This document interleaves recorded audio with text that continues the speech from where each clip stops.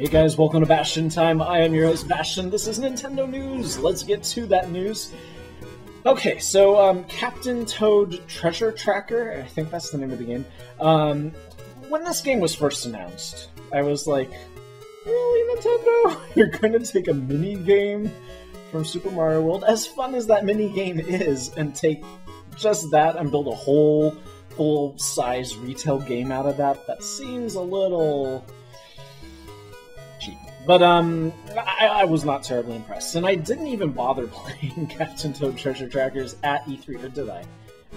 If I did, it didn't make much of an impression on me, because, I mean, I've already played it, right? We've all played it in Super Mario 3D World, but um, learned some interesting origin about it, which is that originally it had nothing to do with Super Mario 3D World. Originally, it was being developed as its own separate prototype game thing, and then, and it had nothing to do with Mario, nothing to do with Toad, uh, and originally, I think I think the order of events is originally it did have Mario in it, uh, and then um, they were like, well, but Mario can jump, so that's not really going to work very well.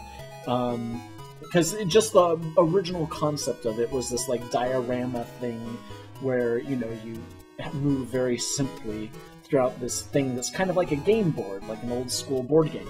Um, and, but Mario can jump, so that made it progressively get taller and taller and taller. So like, okay, not Mario.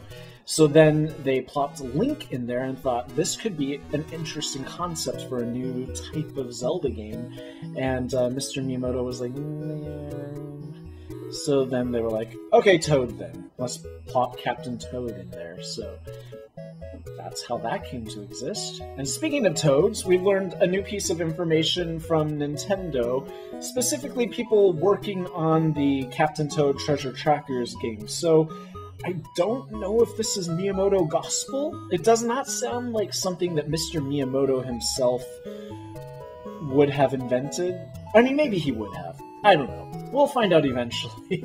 but what's making the rounds on the internet is that these producers from the Captain Toad Treasure Trackers have said that uh, toads are neither male nor female, they're genderless.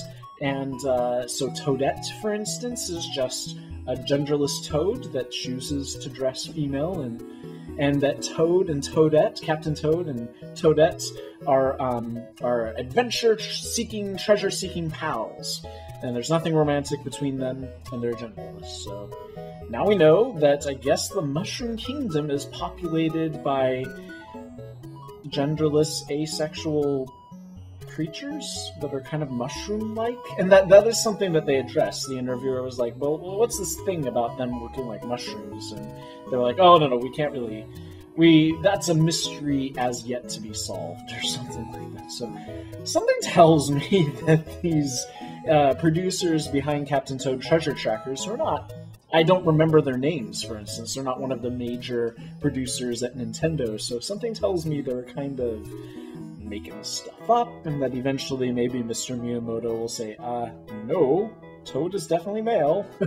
I mean, we have seen very masculine looking Toad creatures. Like, one would assume that the various kings of the Mushroom Kingdom as depicted in Super Mario Bros. 3, they're all very masculine looking, so... And then Princess Toadstool, what's her deal? Is she also a genderless toad, but very tall?